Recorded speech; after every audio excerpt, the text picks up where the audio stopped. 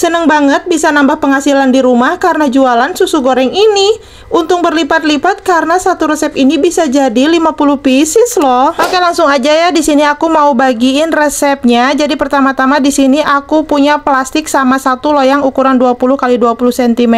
Lanjut olesi dulu si loyangnya ini pakai minyak goreng tipis-tipis aja dan tata si plastiknya di atasnya olesin lagi pakai minyak goreng tipis-tipis aja. Lanjut siapkan wajan atau teflon di atas kompor kayak gini, kemudian tuang 6 sendok makan tepung maizena atau sekitar 70 gram, kemudian 4 sendok makan gula pasir atau setara dengan 60 gram dan yang terakhir 600 ml susu cair. Jadi ini karena takarannya 500 ml jadi aku pakai 500 ml dan nyusul lagi dituang 100 ml kemudian campurkan. Lanjut susu cairnya ini dimasak dengan api kecil sambil diaduk-aduk sampai merata kayak gini sampai benar-benar tercampur sampai teksturnya berubah menjadi menggumpal dan lama kelamaan menjadi kental kayak gini ya guys. Nah ini susunya udah mengental dan mateng. Lanjut selagi masih panas masukkan ke dalam loyang yang tadi udah disiapkan kayak gini guys. Kemudian ratakan sampai ke pinggiran loyangnya ya. Di sini aku bantu pakai sendok makan buat ngeratain sampai ke pinggirannya supaya bener-bener rata. Kemudian diamkan adonannya selama kurang lebih 2 jam. Sambil nunggu bahan adonannya ngeset di sini aku mau siapin buat olesan susu gorengnya nanti guys. Pertama-tama siapkan 10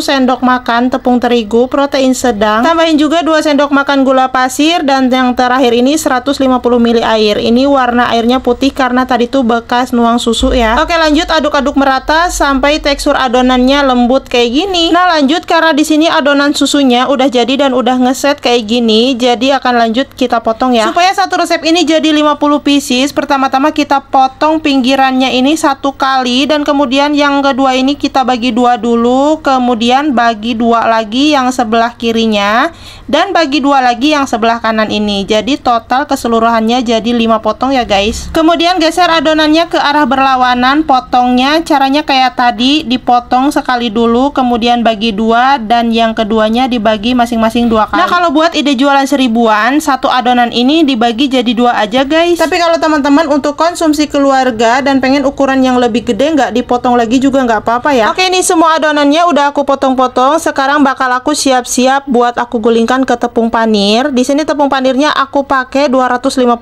gram aja. Alhamdulillah ini cukup untuk satu resep ya. Nah teman-teman di sini aku udah kasih rincian modalnya. Jadi untuk per pieces susu goreng ini jatuh di harga 498 rupiah. Jadi kalau misalkan dijual seribuan juga ini udah untung berlipat ya. Harga modal udah termasuk dihitung dengan gas dan minyak goreng. Oke ini udah selesai. Sekarang kita lanjut goreng. Uang minyak gorengnya agak banyakan ya guys? Supaya nanti pas goreng susunya itu bisa kerendam sama minyak. Goreng pakai api sedang aja nggak perlu sampai coklat banget karena tadi tuh adonan susunya udah mateng kan ya. Jadi cukup dibolak-balik sampai uh, agak kekuningan kayak gini aja. Nah ini warna susu gorengnya udah cantik nih jadi tinggal dibolak-balik terus angkat deh. Dijamin gak bakalan kenyang satu makan cemilan yang satu ini karena rasanya tuh bener-bener enak gurih dan nyusu banget. Untuk tekstur dan tampilannya juga ini bener-bener menarik banget guys. Oke makasih udah nonton videonya dan semoga video yang aku share hari ini bener-bener bermanfaat dan selamat mencoba